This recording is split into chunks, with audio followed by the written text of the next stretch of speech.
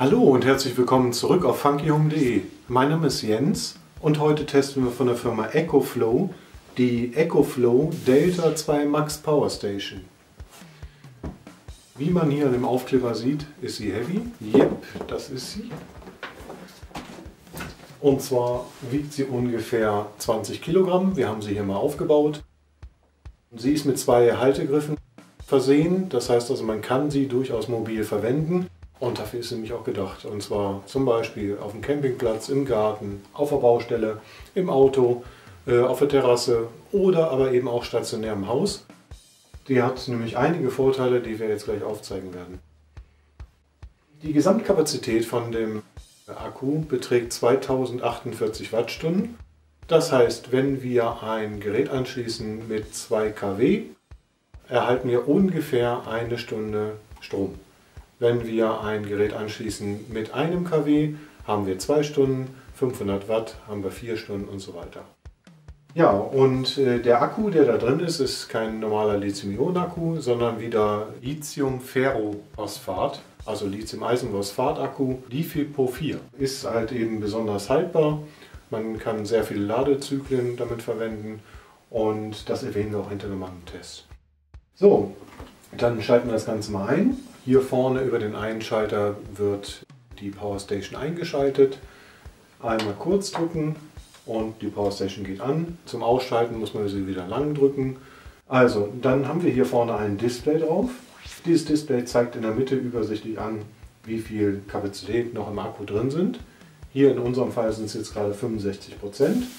Dann sehen wir die Ausgabeleistung, die Eingabeleistung und die vermutliche errechnete Laufzeit des Akkus bei der und der Ausgabe. Wir können anschließen Geräte hier im vorderen Bereich USB Typ A, vier Anschlüsse, zwei davon mit Schnellladefunktion und zwei USB Typ C Anschlüsse mit jeweils 100 Watt und eingeschaltet wird das Ganze über den Taster hier vorne und ausgeschaltet ebenfalls. Wir haben gerade äh, gesagt, dass wir 2048 Watt Leistung haben. Ich drehe das Ganze mal eben. Wir haben hier noch die Möglichkeit, zwei zusätzliche, bis zu zwei zusätzliche Akkus anzuschließen, die es von der Firma EcoFlow gibt, um die Kapazität noch weiter zu erweitern. So, auf der Rückseite Hier hinten haben wir die vier Anschlussmöglichkeiten, die AC 230 Volt, 50 Hertz, reines Sinus. Das sind ganz gewöhnliche Schokosteckdosen, die zur reinen Ausgabe gedacht sind. Das heißt, auf gar keinen Fall Strom reingeben, sondern nur ausgeben. Und bis zu 2400 Watt können hier angeschlossen werden oder im X-Boost-Modus sogar bis zu 3100 Watt. Dann muss man allerdings beachten, dass damit nicht jedes Gerät verwendet werden kann, wenn man das auf den X-Boost-Modus einstellt. Das haben wir bei der EcoFlow River 2 Pro Power Station auch schon mal erzählt, aber da gehen wir auch im Test nochmal hinterher. Hier haben wir die Möglichkeit, das einzuschalten. Wir haben dann auch ein kleines Relais und können das wieder ausschalten. Darunter haben wir noch eine 12 Volt Kfz Ladebuchse. Dann haben wir eine DC 5521, zwei DC 5521 Anschlüsse. Da ist im Lieferumfang dabei ein DC 5521 auf DC 5525 für Notebooks zum Beispiel zum Anschließen. Ebenfalls mit dabei im Lieferumfang ist das Kaltgerätekabel, das heißt, das wird eben hier angeschlossen um die Powerstation aufzuladen. Hier im oberen Bereich sieht man das Ganze.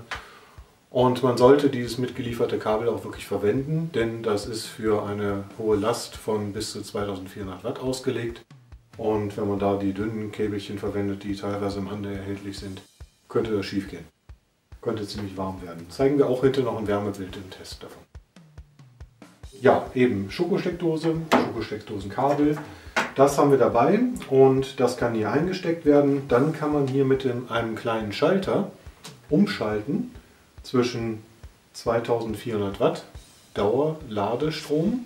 Das heißt, man lädt immer mit 2400 Watt oder Man schiebt den Schalter nach rechts und hat dann die Möglichkeit, in der App einzustellen, ob man mit 200 Watt bis zu 2400 Watt laden möchte. Das kann man stufenlos in der App einstellen, zeigen wir hinterher noch. Da ist natürlich toll, wenn man keine App gerade hat oder offline ist, unterwegs ist. Wenn man das nach links schaltet, weiß man, dass man definitiv mit 2400 Watt lädt. So, und dann haben wir hier noch eine Schutzeinrichtung. Und wir haben hier noch zwei Eingänge für Solarpanels zum Beispiel oder aber auch, das ist auch im Lieferumfang enthalten, um den, die Powerstation mit dem Campingwagen oder dem Kraftfahrzeug zu laden. Motorrad. So, dann machen wir das Ganze mal wieder zu und drehen das mal wieder rum. So, also 20 Kilogramm schwer, 2048 Wattstunden Leistung. Die App, die wollen wir noch ganz kurz zeigen. Und zwar sehen wir hier in der EcoFlow App, wir haben da schon eine Anleitung, eine umfangreiche zu geschrieben, sehen wir die ganzen Geräte übersichtlich aufgeführt. Angefangen mit der Delta 2. Wir sehen hier auch wieder die mögliche Laufzeit mit ungefähr 99 Minuten, weil wir gerade keine Abnahme haben. Man kann hier umschalten zwischen Ausgabe und Eingabe. Bei der Ausgabe kann man sagen, man möchte gerne die Steckdosen ein- und ausschalten. Ich mache das mal kurz. Da hat man Klack und schaltet sie wieder aus. Oder 12 Volt Stromversorgung ein- und ausschalten und so weiter. Ja, man hat noch einige Möglichkeiten zur Schaltung, was man halt eben alles miteinander verbinden kann. Man kann halt eben auch noch zusätzliche Steuerungen vornehmen. Wir haben das schon mal erwähnt und zwar gibt es noch die, die 3EM zum Beispiel. Den haben wir in unser Hausnetz integriert. Hier haben wir die Möglichkeit zu sehen, bei dem Shelly 3M, wie viel Verbrauch hatten wir oder haben wir dementsprechend auf welcher Phase vom Hausnetz. Man merkt schon, es wird ein bisschen komplizierter, aber ist nicht ganz so schlimm. Und man kann dann über den Shelly 3M auch etwas schalten. Man könnte zum Beispiel sagen, wenn ein Solarüberschuss von, dem normalen, von einem normalen Balkonkraftwerk vorhanden ist, lade bitte diesen Akku auf. Und das kann man halt eben dementsprechend alles verwalten. Wie das funktioniert, das haben wir zum Teil schon erwähnt in der App-Anleitung und auch in der EcoFlow River 2 Pro in dem Testbericht. Der Shelly 3M misst die drei Phasen im Haus und darüber kann man dann den Stromverbrauch im Grunde im Haus messen, kann dann vergleichen, wie hoch ist der Einspeisestrom und wie hoch ist der Verbrauchsstrom und kann dann anhand dessen den EcoFlow Akku aufladen lassen oder halt eben gebrauchen.